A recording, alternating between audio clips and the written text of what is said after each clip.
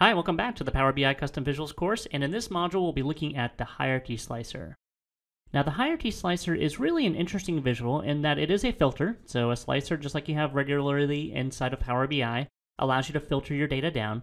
But the nice thing about the hierarchy slicer is it allows you to actually have a hierarchical view of your data in a filter. So one of the major problems with the existing slicer, the regular slicer you have available to you, is it can only really show one attribute at a time. If you want to show multiple levels of a hierarchy, for example, then you need to bring it into multiple slicers. And that's really where the hierarchy slicer excels in giving you the extra ability to be able to bring in multiple attributes that are in a hierarchy form. It also allows you to actually bring in measures values as well. It also allows you to bring in measure values as well if you want to be able to analyze and see the total sales, for example, for each of the bikes that you see listed here, it actually allows you to drill down one more level below the lowest level of your hierarchy to be able to see the value summarized up or the value aggregated up in some different way. All right, so you can see who this one was published by, who created this visual. It's a really nice one. I enjoy it quite a bit.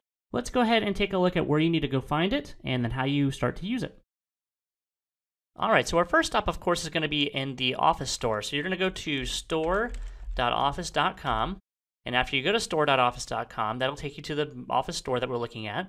And you can see there's all kinds of add-ins here. What we're focused in, of course, on is the Power BI add-in. So we're going to go search for Power BI. And then probably the easiest way to find the hierarchy slicer is to search for it. So you can come up here for the search area and you can type hierarchy slicer, or you can even just type hierarchy. And you should be able to find a couple items here that have to do with hierarchies. And the one that we care about, of course, is the hierarchy slicer.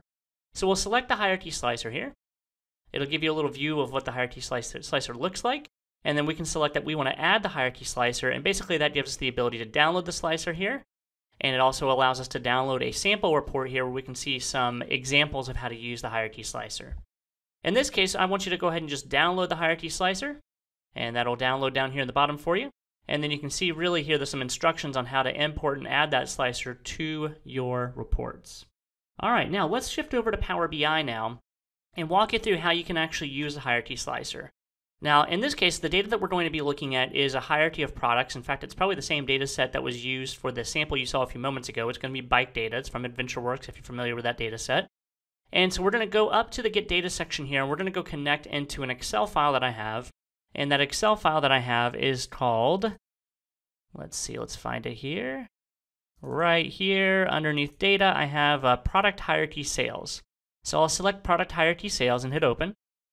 It's now going to connect me into the data set that I want to use for this. Uh, it's an Excel file and it has a spreadsheet in it called by country. So we're seeing the hierarchy right here, product, subcategory, category, the total sales, and then also a country column as well.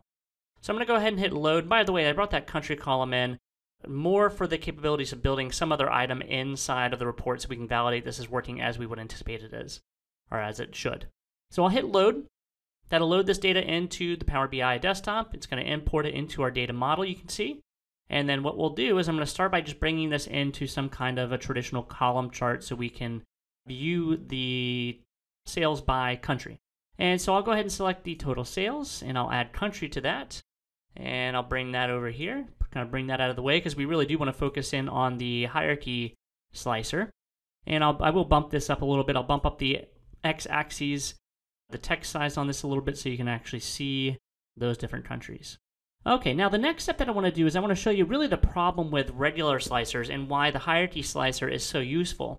The hierarchy slicer is so useful is because if I wanted to use a regular slicer right here, and you want to use your hierarchy as part of it, then you would drag individual columns in. So I could drag in here, for instance, my category column and you can see the categories here. But if I wanted to actually make this a multi-level view, say for example I wanted to bring in the subcategory as well, and you, you would think you could either drop it here or drop it below here, you can't really have multiple levels. If you try and drag one and it's going to replace the other.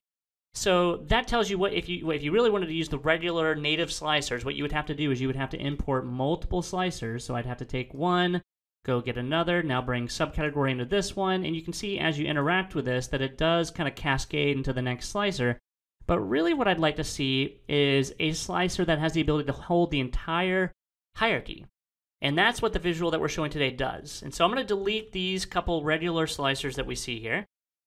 and I'm going to go import the hierarchy slicer. So I'll select the import from file to import our custom visual. This is where we'll go to get our new custom visual in here that we downloaded a few moments ago.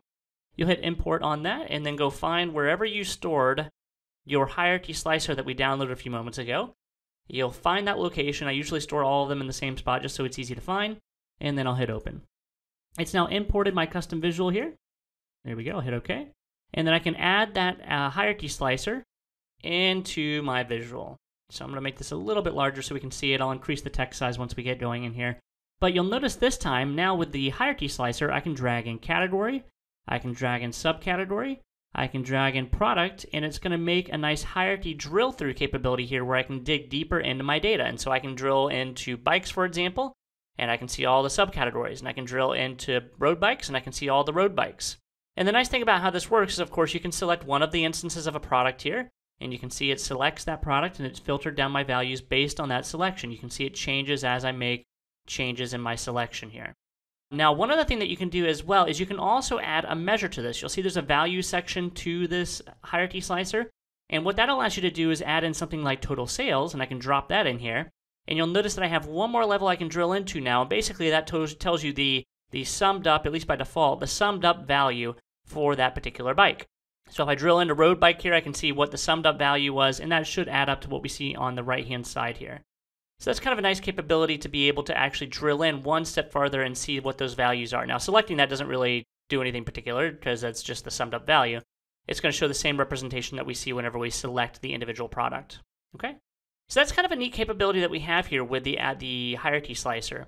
Now, one of the things you'll notice is as you select items in here, it's not multi-selectable by default, but you can turn on the capability to make it multi-selectable by going underneath the Format Paintbrush.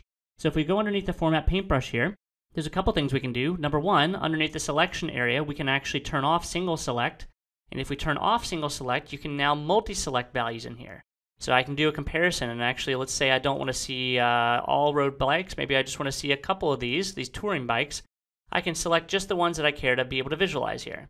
So that's uh, the single select turn off capability allows you to multi-select here.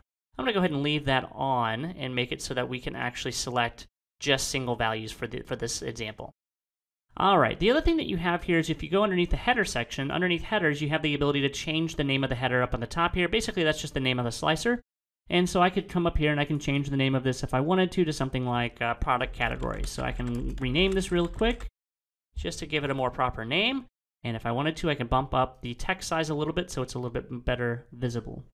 All right, the other things that we have here that we have the ability to change is uh, things like the text color if we wanted to. We could also change the text size. So if we go down one farther, this is the really the last item that we have that we can customize here.